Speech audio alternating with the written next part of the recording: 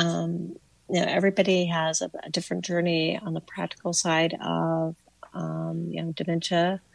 Um, I use the broader term because, you know, in Alzheimer's, we, you know, we, you know, um, because, you know, the journeys are not, no two journeys are alike, but we, we want to make sure the legal things are there because that's where a lot of the expenses, practical stuff.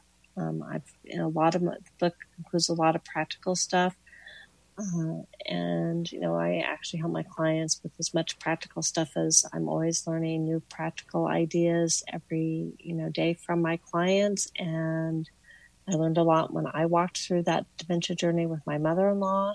And then when my mom had her stroke, it's a strokes cause a form of dementia. And I was able to learn a lot about that journey as I walked on the other side as the daughter who also happened to be the lawyer for her mother but it's different when you're the daughter than when you're the lawyer. You know, so I I learn a lot on both sides. So.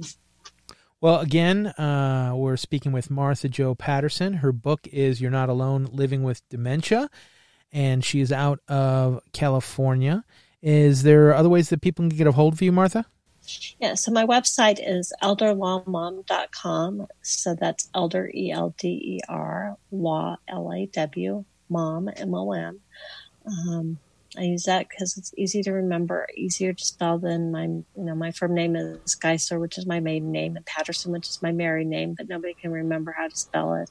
My name is Martha, but it gets changed to lots of other M names. So I, you know, figure that elder law mom, you will remember that I'm the elder law mom and I'm a mom and a daughter. And so that works well. And I treat my clients a lot you know, like I'm, you know, the like their family. So I like the mom part of my domain, as you know, you're part of my family. Well, it's been an absolute pleasure, uh, and uh, I've learned a lot, and I hope everybody else has as well. And if you need to get a hold of Martha, like she said, go to elderlawmom.com. Thanks again, Martha, and uh, we appreciate you taking time with us today. Thanks for listening to Planning for the Future, the podcast. To get a free copy of Martha's book, call 855 Elder 77. That's 855 353 3777. Planning for the Future, brought to you by the Elder Care Media Network and produced by thepodcastproshop.com.